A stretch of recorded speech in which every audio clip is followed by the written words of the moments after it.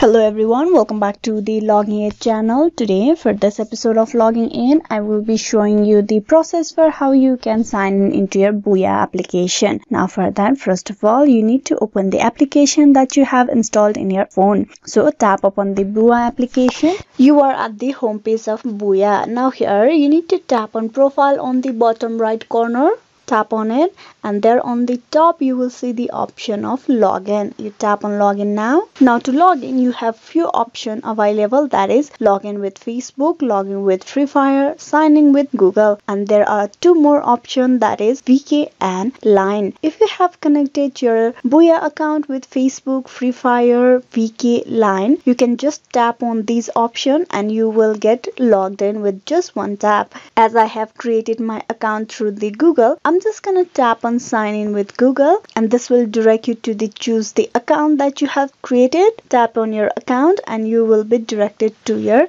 Booyah account. This is how you can sign in into the Booyah account of yours. Hope this video was useful. Please like and subscribe the Login Aid channel and also don't forget to click on bell icon.